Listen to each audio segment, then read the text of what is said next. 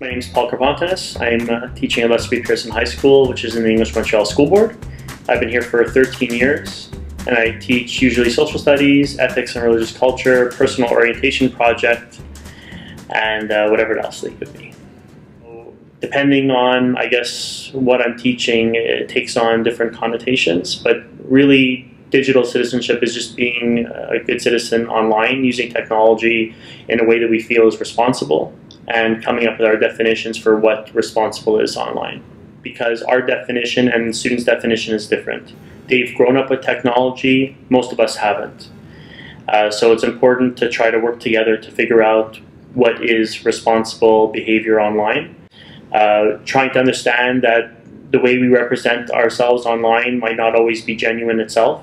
So people choose an Instagram picture they want to share, they might have chosen from 100 images. And our students think, oh, like this person is perfect, like this is like perfect situation, I want to be like this person. But what they don't know is that this person tried really hard to, to take that photo, and it took 100 shoots, and they, they filters, and they it was set up.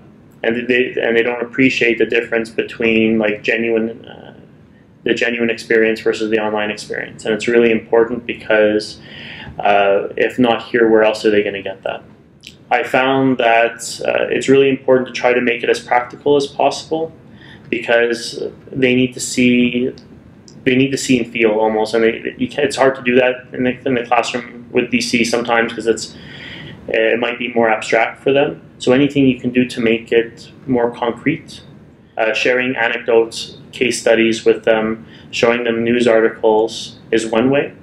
Uh, having them do practical uh, explorations themselves. Uh, so, for example, we did an activity uh, about their online persona where they had to partner up with someone and they each had to look for each other online and they had to report on what they found. We don't realize how searchable we are. So then when it came to, okay, my partner was able to find, answer all these questions about me, and I was able to answer all these questions about my partner, if they were able to do it, then who else can do this? So they had a lot of like, wow, like, uh, like uh, moments, like aha moments where they're like, oh, like maybe I, there, there, are things that I can do to protect myself better than this. I think like, we, we've always relied on parents because they're stakeholders in this, and like students are here six hours a day, but it can't just stop at the classroom, and it, it can't just stop at home. So there needs to be a concerted effort.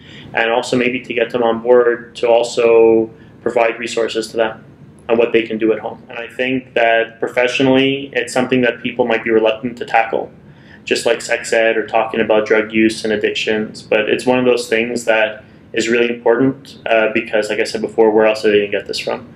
Uh, this is coming. Like students have the technology, they, they're on social media.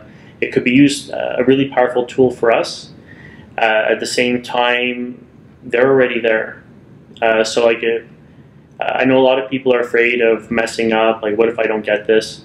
Uh, and what if the students know more about this than I do? Like, there's there's a lot of hesitation, uh, a lot of effort. Um, uh, con- like, they fear that they might waste a lot of time investing time into a lesson that revolves around technology and then not going to plan. Uh, but the same can be said about any lesson that we do in the classroom.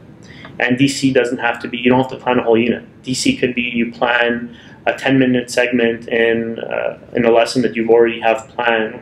People are uh, hesitant because they don't know what's out there. So, and I, I, don't, know the best way to share it, but definitely professional development doesn't, doesn't hurt. Uh, sharing the resources that we do find, uh, collaborate, increasing collaboration, uh, maintaining open lines of communication between all the stakeholders. I think it's important also uh, that uh, whether it's school board, ministry, the schools, like it has to be a priority. If people see that it's a priority, people are going to spend more time on it. In, uh, in pop class, when I teach digital, digital citizenship, we talk about your online persona and the impact it might have later on in like terms of job search and you're, you're, you're launching this career and then things coming back to haunt you or being very careful about what you share because it could have an impact. Uh, in an ethics class, it could be uh, talking about the implications of, of, sharing personal information, but in a different way. Uh, so we talk about, say, cyberbullying. We talk about our online personas in terms of how do we behave online, and what is what is the right way to behave online. Is there a right way to behave online? and the difference between online behavior and in-person behavior and why are there differences. Like there, there's so many different avenues you can take digital citizenship. Like we we used to teach digital citizenship in the classroom before we had a, a, term for it. Like just in a history class, talking about the validity of online sources.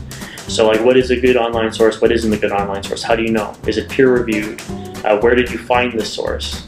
Uh, so that's that's a component of digital citizenship, and this is something that we've been teaching all along. But now we have we can we can kind of put it under this umbrella. Like this is another thing that we should be teaching our kids. Uh, because the internet, internet's a wealth of resources, but there's a, a lot of good stuff and a lot of bad stuff out there also.